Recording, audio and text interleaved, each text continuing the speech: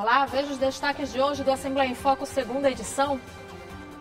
Encontro reúne representantes do Fundo Nacional de Desenvolvimento da Educação, parlamentares e autoridades públicas para debater sobre as obras paralisadas no Estado.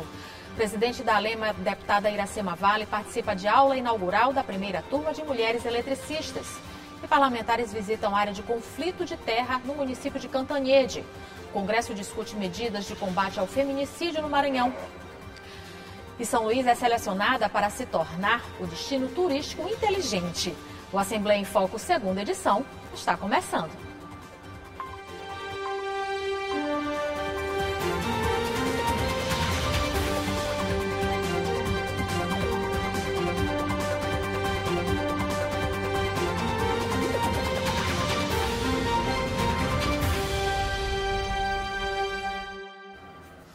Parlamentares, gestores municipais e autoridades públicas se reuniram com a equipe do Fundo Nacional de Desenvolvimento da Educação para tirar dúvidas e obterem informações sobre o novo Pacto Nacional de Retomada de Obras da Educação Básica, que estavam paralisadas ou inacabadas no Estado.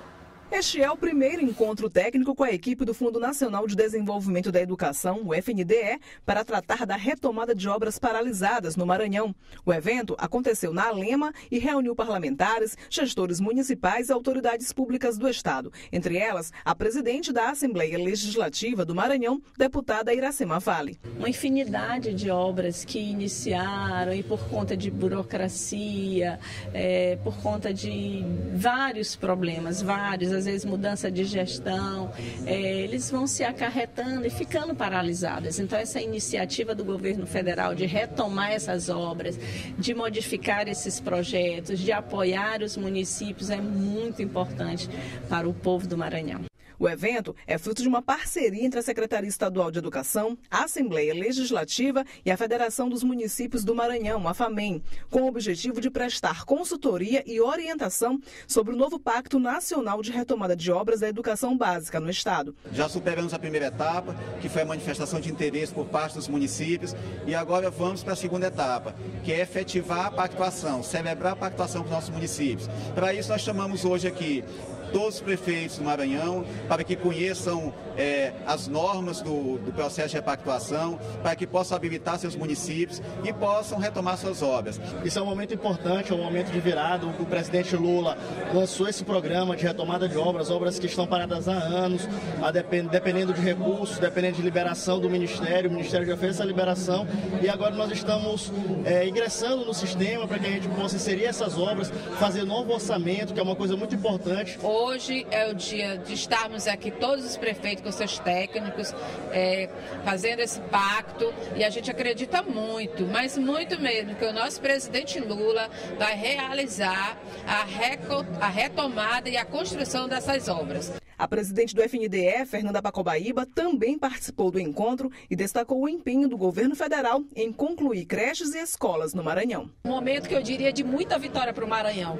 Desde o começo ficou muito claro o quanto o governo ia se empenhar nessa retomada, porque é uma oportunidade extraordinária para o Maranhão.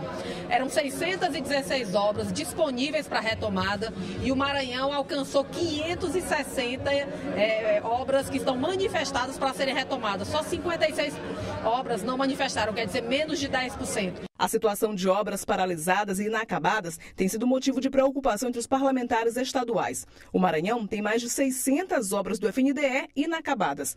Em junho deste ano, o ministro da Educação, Camilo Santana, esteve no estado para tratar do assunto. Durante o encontro com o governador Brandão e com deputados, ele anunciou a retomada da construção de creches, escolas e quadras poliesportivas em 160 municípios maranhenses e que serão investidos cerca de 600 milhões de reais na retomada das obras. As obras vão receber recursos do FNDE, autarquia vinculada ao MEC, e caberá às prefeituras administrar a execução dos serviços depois de apresentarem um relatório aos governos estadual e federal. Para isso, os prefeitos aderiram ao Pacto Nacional pela retomada das obras. Um momento importante e eu estou muito feliz de estar aqui hoje para discutir, participar desse evento que é a retomada das obras paralisadas. E no caso particular de Urbano Santo, nós temos três creches, uma quadra e uma escola. E eu tenho certeza que a gente vai poder repactuar, a gente já deu aceite dessa repactuação e com certeza será concretizado para que a gente possa concluir essas obras e garantir para nossas crianças um espaço digno para elas estudarem. As expectativas é, são cerca de 40 obras, entre semeios, ou seja, creches, escolas de grande porte, de médio porte, de pequeno porte, também todo o grande território de Grajaú. Grajaú é a terceira maior área territorial do Maranhão e nós temos todo esse território, temos obras inacabadas de todos os portes. À tarde, aconteceu na Lema os atendimentos e o serviço de consultoria dado a cada prefeito pela equipe do Ministério da Educação e do FNDE. A presidente da Lema, a deputada Iracema Vale, acompanhou a aula inaugural da primeira turma exclusiva de mulheres eletricistas da empresa de energia elétrica Equatorial. O objetivo é capacitar profissionalmente o público feminino para que fiquem em condições adequadas de entrar no mercado formado, em sua maioria, por homens. A aula inaugural da primeira turma exclusiva de mulheres da Escola de Eletricistas da Equatorial do Maranhão reuniu, além das alunas, representantes da empresa, Senai, FIEMA e Governo do Estado. Uma manhã de palestras e empoderamento feminino. A presidente da Assembleia Legislativa do Maranhão, deputada Iracema Vale, participou do momento e destacou a importância do pioneirismo. Turma de 100 mulheres né, exclusivamente de mulheres, curso de eletricista em parceria da Equatorial com o Senai, com o IEMA. Eu fico muito feliz de ver esse pioneirismo feminino, porque a mulher ela é cuidadosa, né? E eu tenho certeza que elas vão fazer história. O projeto busca promover capacitação profissional especializada no setor de distribuição elétrica em um mercado formado majoritariamente por homens. Significa a inclusão da mulher no mercado de trabalho e o reforço de que a mulher pode ser o que ela quiser, né? Então eu acho que é bacana a gente ter essa oportunidade. Na realidade, a gente tem muitos desafios para a participação da mulher, né? Mas a gente está abrindo espaços, né, para esse protagonismo feminino, especialmente na área de energia, uma área historicamente, como você falou mesmo, dominada pelos homens. E aí a gente começa impulsionando o protagonismo feminino através de ações afirmativas, como esse programa Escola de Eletricista ampliando as oportunidades formativas é, das mulheres. Em 2023, a gente, em 2022, a gente teve ah, 35% das vagas do programa destinadas para as mulheres e esse ano a gente teve um impulsionamento com uma turma, quarta turma, exclusivamente composta de mulheres para o setor. A aula inaugural também foi acompanhada por alunas do curso de eletricistas do Amapá, Pará e Goiás, totalizando 100 mulheres. A experiência da formação técnica feminina para o mercado de trabalho foi compartilhada pela diretora-geral do IEMA. A experiência. Hoje nós temos 55% é, das no, dos nossos alunos matriculados são meninas. É, a gente trabalha dentro do eixo é, da igualdade de gênero e valorização das meninas e mulheres, né, que faz parte dentro da, da agenda ODS. E a gente vai poder hoje falar um pouco dessa importância do empoderamento e a participação das mulheres nesses setores, que é o mercado de trabalho que ainda é ineficiente, ainda não tem tanta participação de meninas e mulheres. O curso profissionalizante de eletricistas exclusivo para mulheres é uma oportunidade de inclusão, geração de emprego e renda e de incentivo à jornada feminina no mercado de trabalho. Apareceu essa oportunidade e eu acho que a mulher é capacitada para ela estar onde ela quiser, né? E foi uma, uma oportunidade muito boa para a gente estar tá ingressando e saber que nesse mercado competitivo hoje podemos estar tá ocupando esse espaço, né? Que dá essa oportunidade para nós. E você vai ver no próximo bloco, o Congresso discute medidas de combate ao feminicídio no Maranhão. E parlamentares visitam área de conflito de terra no município de Cantanhede. É o que você acompanha logo após o intervalo.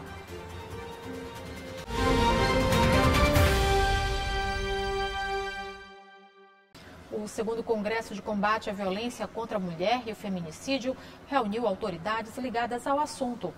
No Maranhão, apesar das estatísticas mostrarem uma diminuição dos casos, os números ainda são altos. Por isso, a necessidade constante de discutir medidas para enfrentar a violência. Buscar soluções para o enfrentamento da quantidade de casos de feminicídios no Estado foi o principal foco do segundo Congresso de Combate à Violência contra a Mulher e o Feminicídio, a delegada e coordenadora das delegacias da mulher no Maranhão ressaltou durante o evento a importância em se discutir em todos os locais possíveis a violência contra a mulher e sempre buscar instrumentos para frear as estatísticas. O recado principal é esse: é fortalecer esse trabalho, é ter mais uma estratégia dentre tantas que a gente busca, a fim de que a gente consiga cada vez mais fazer com que essa mensagem chegue aos homens e às mulheres que precisam ouvi-la e também fortalecer todo mundo também que está na base trabalhando para evitar mais feminicídios ou mais violência contra a mulher. O congresso foi uma iniciativa do Instituto Ômega do Brasil. O IOBRA é o primeiro instituto de pastores e igrejas independentes do Brasil que tem como finalidade ajudar cooperar juntamente com as igrejas e os pastores, tanto na área social como na área emocional, aonde ajudamos também a realizar diversos eventos e estamos cooperando com essas igrejas e esses pastores no Brasil, no Maranhão e agora aqui em São Luís. Em 2022, 699 mulheres foram vítimas de feminicídios no país. No Maranhão, apesar das estatísticas mostrarem uma diminuição dos casos, os números ainda são altos. Por isso, há necessidade constante de medidas para enfrentar a violência, como ressaltou o comandante da Patrulha Maria da Penha no estado. Desde o advento da lei, lá de 2006, nós temos visto a diminuição a cada ano. Esse ano, por exemplo, nós tivemos uma diminuição de 44%. Tá? Mas mesmo assim são números altos. Este ano nós já estamos com 36 feminicídios, especificamente aqui no estado do Maranhão. Este promotor de justiça representou o procurador de justiça do Estado e destacou as ações que o Ministério Público tem adotado na luta contra a violência doméstica. Temos estratégias para combate à violência psicológica, que é o começo da cadeia de violência, que é preciso ter muita atenção para isso.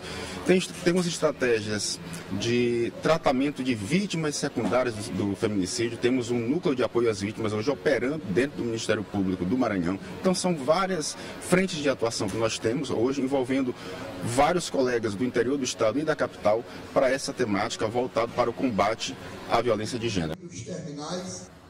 Um grupo de deputados esteve no município de Cantanhede para ver de perto a situação de trabalhadores rurais. As famílias denunciam casos de ameaças que teriam sofrido para deixar a região. A comitiva formada pelos deputados Júlio Mendonça, Rodrigo Lago e Carlos Lula participou de uma reunião com pequenos produtores no Sindicato dos Trabalhadores Rurais, Agricultores e Agricultoras da cidade de Cantanhede. Também participaram representantes da Secretaria de Estado de Direitos Humanos, Defensoria Pública, Federação dos Trabalhadores e Trabalhadoras Rurais e da Prefeitura da cidade.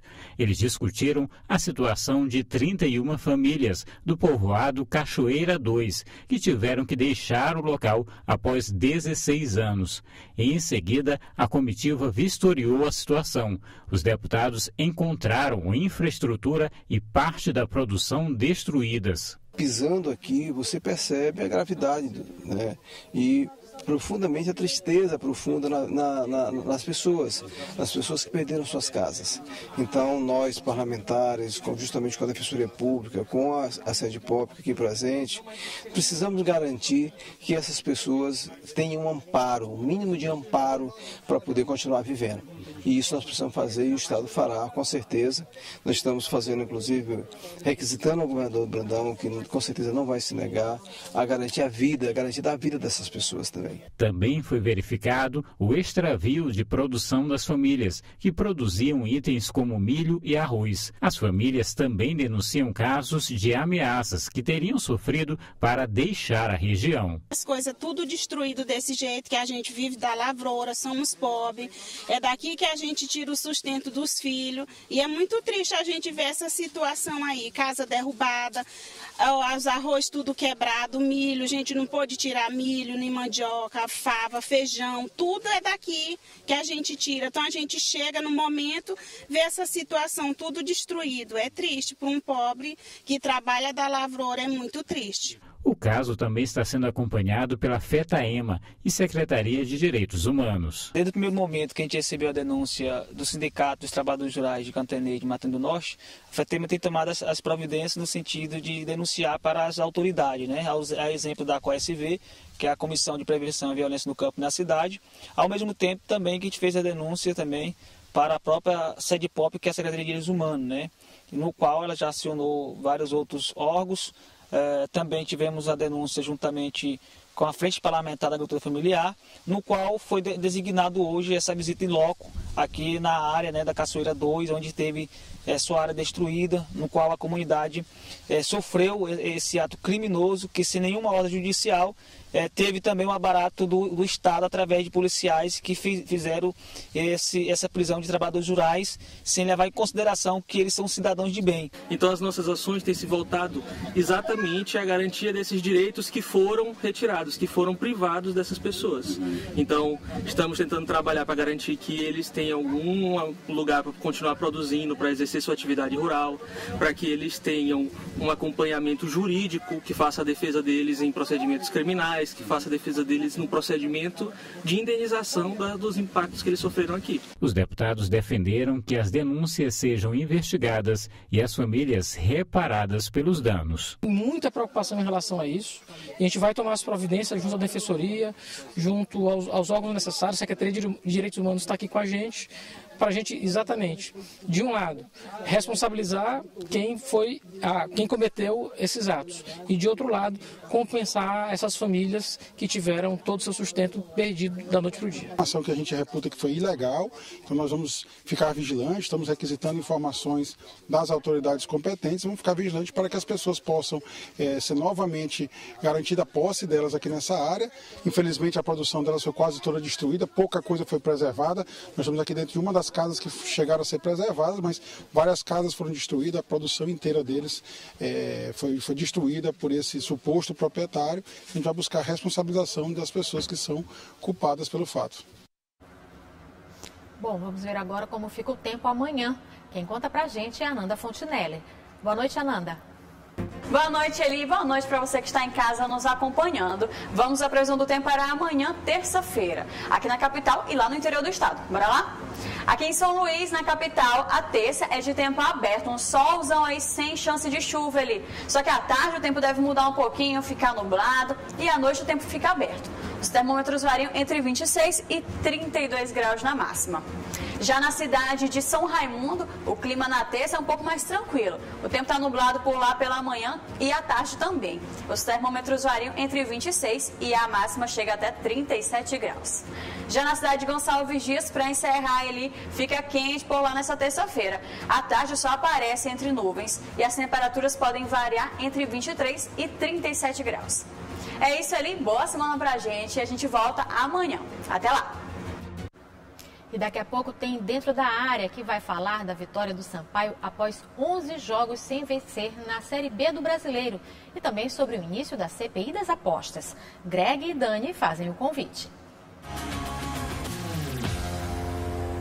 Oi, Eli. Mais tarde, às 8 da noite. Aliás, daqui a pouquinho, eu e a Dani Kline estaremos aqui no nosso programa Dentro da Área, trazendo os destaques do esporte no Maranhão e no Brasil. E olha, deu certo, viu, Eli? Finalmente, graças a Deus, aleluia, oxalá, o Sampaio ganhou. Depois de 11 rodadas, a Bolívia Querida voltou a vencer na Série B do Campeonato Brasileiro. A gente também vai falar sobre skate e também vamos falar sobre segundinha do futebol maranhense. Tem CPI também, né? Tem CPI justamente aqui na Assembleia Legislativa, já tem presidente, vice-presidente e também relator aqui na CPI, na Assembleia Legislativa. É isso mesmo, logo mais, às 8 da noite, o seu programa Dentro da Área aqui na tela da sua TV Assembleia. Até mais. São Luís foi selecionada pelo Ministério do Turismo para se tornar um destino turístico inteligente. Vários fatores são levados em consideração para que a cidade seja qualificada e diversos pontos explorados para que a capital maranhense seja ainda mais atrativa para o turismo. Praias, história e cultura. São Luís sempre foi um destino desejado pelos turistas que visitam o Maranhão. Mas agora, a cidade foi selecionada para se tornar um destino turístico inteligente. A Prefeitura de São Luís, por meio da Secretaria Municipal de Turismo, participou de um edital de seleção do BID e do SEBRAE. Foram seis meses de seleção e a gente ficou entre os destinos escolhidos para receber essa consultoria que vai condicionar São Luís a se transformar no destino turístico inteligente. Então, nós temos tendo uma consultoria permanente, né, que vai durar até o próximo ano, até o final do próximo ano de 2024 que vai dar condições da gente trabalhar cada vez mais com ferramentas que transformem São Luís num destino turístico inteligente. Um destino turístico inteligente é resultado de vários fatores. Entre eles estão governança, inovação, tecnologia, sustentabilidade, segurança, marketing, acessibilidade, transporte e criatividade.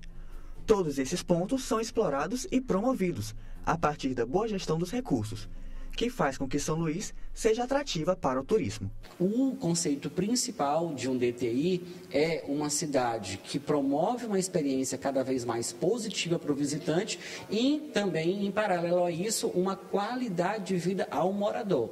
Então, o destino turístico inteligente tem que unir tanto as questões dos anseios dos visitantes quanto dos moradores. As capacitações já estão sendo realizadas. A capital maranhense está recebendo apoio do SEBRAE e do Banco Interestadual de Desenvolvimento para receber o suporte técnico, ações de estruturação e consultoria para qualificar a cidade como destino turístico inteligente. É, os destinos turísticos inteligentes, ele transforma a cidade, né? A, a cidade que consegue ter todos esses eixos mencionados é, com um nível de maturidade, ela passa a ser uma cidade reconhecida mundialmente e desejada pelo visitante, né? Porque ela promove boas experiências, ela promove experiências memoráveis para o visitante.